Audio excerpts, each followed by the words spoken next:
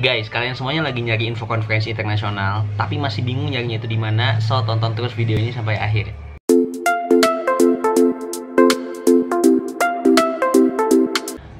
Oke, okay, hola guys, balik lagi bersama aku Fauzi di channel Jejak Zamzami. Thank you banget buat teman-teman semuanya yang udah selalu nonton video-video aku dan buat teman-teman semuanya juga yang belum like, comment, share dan juga subscribe silahkan subscribe dulu biar aku makin semangat untuk bikin video buat teman-teman semuanya. Nah, dan di video kali ini aku bakal sedikit sharing ke teman-teman semuanya tentang info konferensi internasional di luar negeri yang bisa teman-teman ikutin. Karena dari kemarin banyak banget yang kayak ngechat kasih info untuk keluar negeri dong. Entah itu beasiswa konferensi dan sebagainya. Nah di video ini aku bakal sedikit khusus untuk teman-teman semuanya ngebahas tentang info konferensi internasional yang bisa teman-teman ikutin. Dan ini um, bener-bener bisa teman-teman ikutin dan teman-teman bisa keluar negerinya langsung atau bahkan mungkin harus virtual dulu baru keluar negerinya Guys, sebelum lanjut videonya, aku mau ngabarin kalau misalkan kalian mau beli buku-buku beasiswa, tips beasiswa, informasi beasiswa, dan sebagainya, langsung cek aja link di bawah karena semua bukunya udah aku punya, makanya aku rekomendasiin buat kalian semuanya karena bukunya bagus-bagus banget dan harganya sangat terjangkau. Yuk, cek linknya langsung di description box. Pertama, first workshop on exponential technologies in business and economics. Nah, ini diselenggarainnya di Lisboa, di Portugal. Khususnya penyelenggaranya itu adalah University of Lisboa-nya. Atau kalau di bahasa Portugalnya tuh Universidade de Lisboa.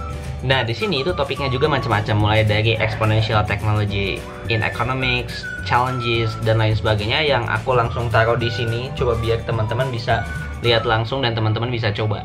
Nah, dan nilainya itu tanggal 5 Juli dan untuk persyaratannya silahkan teman-teman langsung kunjungi link ini yang aku bakal langsung taruh setelah video ini. Kedua, 26 International Conference of Innovative Manufacturing Engineering and Energy dan ini diselenggarinya di Romania khususnya di George Asashi Technical University of Asashi. Nah, dan ini diselenggarinya di Romania khususnya di George Asachi Technical University of Iya sih. Dan di sini topik-topiknya atau pembahasannya tuh banyak banget mulai dari advanced manufacturing process, surface engineering, advanced material, green manufacturing, dan masih banyak lagi. Nah dan untuk submission deadline-nya itu tanggal 15 Juli 2022 Jadi buat teman-teman semuanya yang pengen ke Romania Coba langsung aja lihat link ini dan juga persyaratannya di sini. Ketiga, Second International Conference on Artificial Intelligence and Sustainable Computing for Smart Cities yang diselenggarinya itu di India. Nah ini sebenarnya konferensi online, tapi nanti mungkin kalau teman-teman dapat kesempatan itu bisa juga offline-nya ke sana gitu. Makanya bikin tulisannya itu ya yang bagus aja biar langsung diundang ke sana. Dan untuk deadline itu masih lama, yaitu tanggal 1 Desember 2020, tapi bakalan lebih baik lagi kalau misalkan teman-teman itu submitnya itu dari sekarang-sekarang.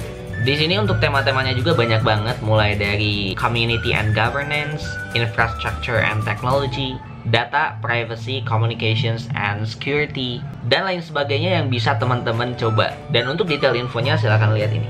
Keempat, the 11 International Conference on Computational Data and Social Networks yang diselenggarakan di Orlando, Amerika Serikat. Ini sebenarnya virtual juga, tapi kalau misalkan tulisan teman-teman bagus, itu bisa juga bakalan langsung dibawa ke sana. Pembahasannya banyak banget mulai dari big data analysis, security and privacy in data network, reputation and trust in social media, dan masih banyak lagi.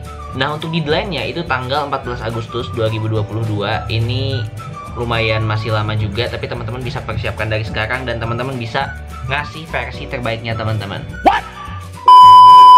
Oke, cukup sekian dulu dari aku. Mohon maaf kalau misalkan ada suara-suara dari luar atau misalkan ada suara yang masuk ke sini selain suara aku. Mohon maaf banget teman-teman. Dan thank you juga buat teman-teman semuanya yang udah nonton video ini. Semoga bermanfaat dan buat kalian semuanya yang tertarik lagi untuk nanyain tentang konferensi dan sebagainya, silahkan leave aja pertanyaan teman-teman itu di kolom komentar dan aku bakal coba untuk jawab-jawabin juga. Thank you banget buat teman-teman semua yang udah nonton. Jangan lupa untuk like, comment, share dan juga subscribe video ini. Thank you banget. See you and goodbye.